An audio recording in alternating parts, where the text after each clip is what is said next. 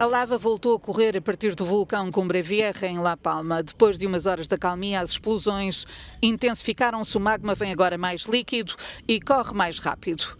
Os especialistas acreditam que pode chegar ao mar nas próximas horas. Aos residentes da Costa Sul foi ordenado um confinamento preventivo. Assim que a lava começar a interagir com a água do mar, podem ocorrer várias coisas. Temos algo que é extremamente quente a interagir com algo que é comparativamente muito frio, que vai solidificar a lava num processo que pode ser explosivo. No Val da Aridana, a lava engoliu casas e estradas a caminho de Tazacorte. Em Fuencaliente foram registados vários tremores semelhantes aos que se verificaram antes da erupção da Cumbre Vieja. Por toda a ilha, os habitantes tentam regressar à normalidade e mobilizam-se para limpar o manto de cinzas.